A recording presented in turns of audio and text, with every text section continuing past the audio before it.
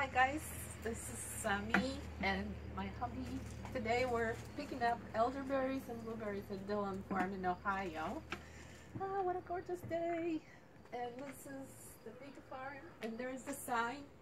One is for blueberries, one is for elderberries. We're, we're going to start with elderberries because they're really good for us, right?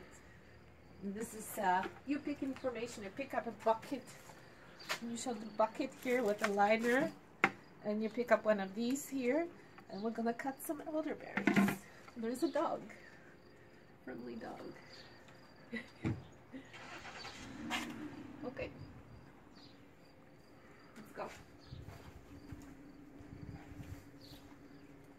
Beautiful little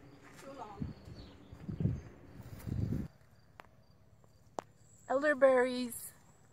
Elderberries. We are on Dillon Farm in Ohio today and we're picking up elderberries to make delicious healthy syrup.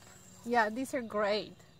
There's some music coming from somewhere from the woods and uh, but it's a beautiful place. So here how we do this. Uh, we look for the ones that are like really really dark red like almost navy red and just cut them like this. They give you these um, cutters here, so that's perfect. There's another one here. It's really fast, easy, and I'm thinking we're going to have a field trip here maybe in a couple weeks. And we're gonna meet everyone here. Uh, maybe have some tea on the grass. There's another one. So right now right now they're not some of them are not ripe yet. You're looking for a real really dark color and I think in a couple of weeks they're going to be perfect.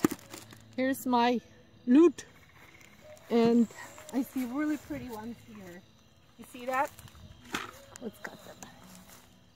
Jump. Birds like them too unfortunately. Let's see what else we can find